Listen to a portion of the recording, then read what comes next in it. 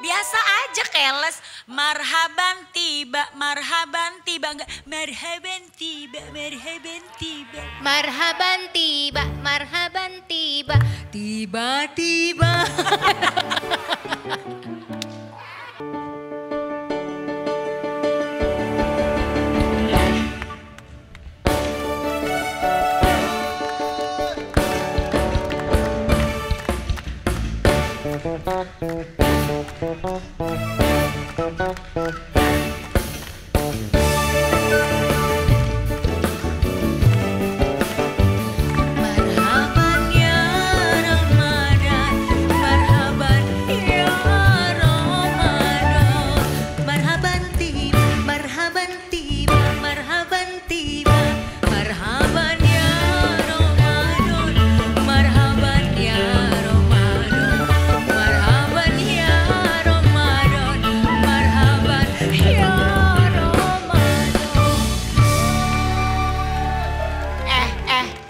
lu Apa? siapa?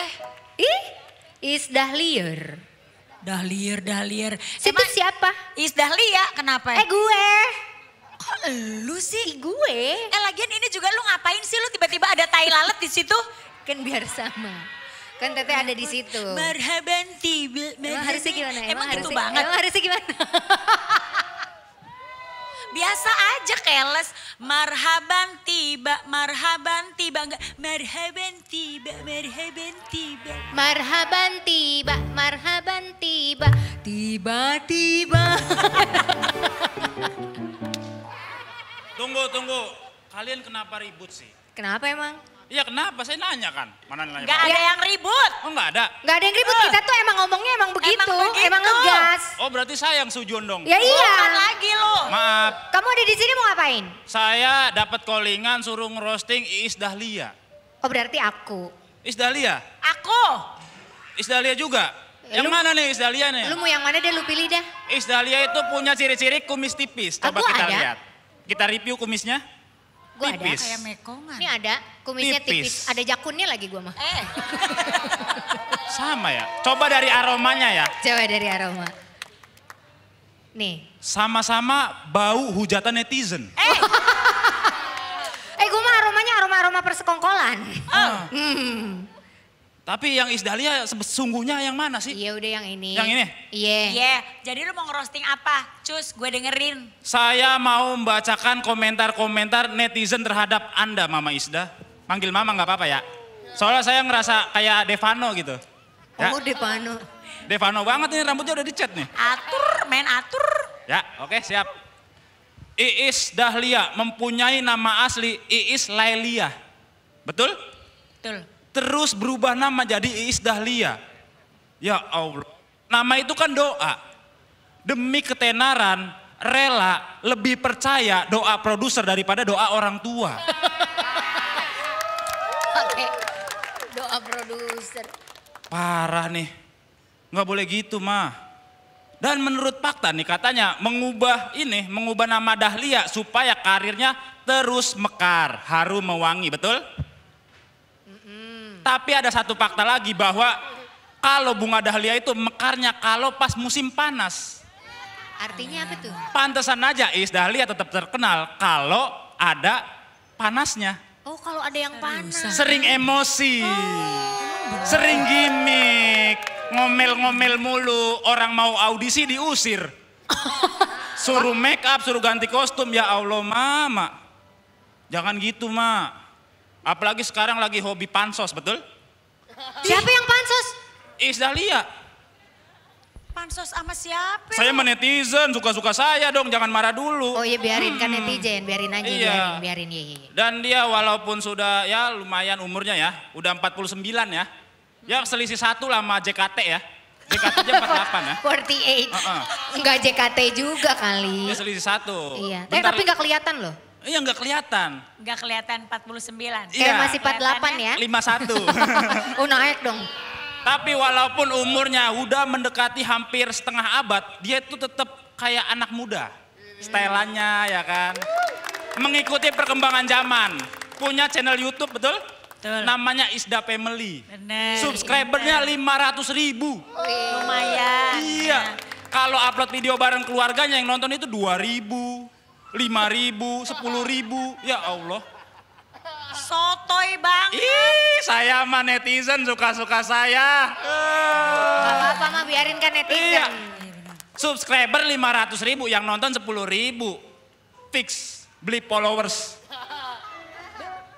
Siapa yang beli followers? Ini, Lu fitness banget lu dari tadi. Enak Fitnah. aja lu beli orang gratis dikasih. Ah, ya Allah yang nonton 10 ribu, mie ayam aja 15 ribu mah. Itu belum pangsit sama bakso. Namun ada fakta lain. Saya kan netizen nih, saya membaca komentar-komentar mereka. Kalau beliau Isda Family upload video bareng sama Rizky Rido, Nadia, Baby Syaki yang nonton banyak banget. Oh. 500 ribu, 1 juta, bahkan ada yang tembus 2,5 juta. Terbukti kalau beliau ini pansos ya. Enggak dong. Lah anak iyalah. ya lama-lama ya. Kalau keluarga sendiri mah dikit, kalau keluarga orang banyak bisa sa- Itu 2,5. keluarga gue juga. Emang Rizky emang ada di kakak? Kagak ada di kakak. pindahin. Iya, yang ada di kakak mah salsa. Kakak salsa. Betul kan? Iya bener sih ada di kakak. saya, saya netizen. Rizky Ridho jangan masukin kakak teh, masukin adek ntar. Iya benar. Heeh. Iya, katanya Isda family, tapi kalau viewer- viewersnya banyak itu family orang. Mana family Isdanya?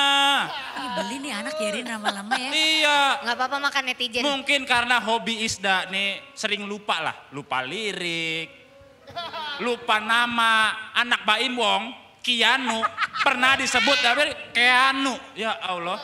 Anak Baim Wong masih Salah nulis doang. tetap salah, itu kan artinya lupa. Tapi kan gue komennya di tempatnya Baim. Tapi kan banyak yang nimbrung di situ. Ih, banyak yang ngececein Keanu. Eh, Masa ya anak Baimong mirip. masih kecil nih udah nge-review daster. sambil nge Q&A ngomel-ngomel. Aneh bener dah. Keanu, Keanu. Bercanda sayang.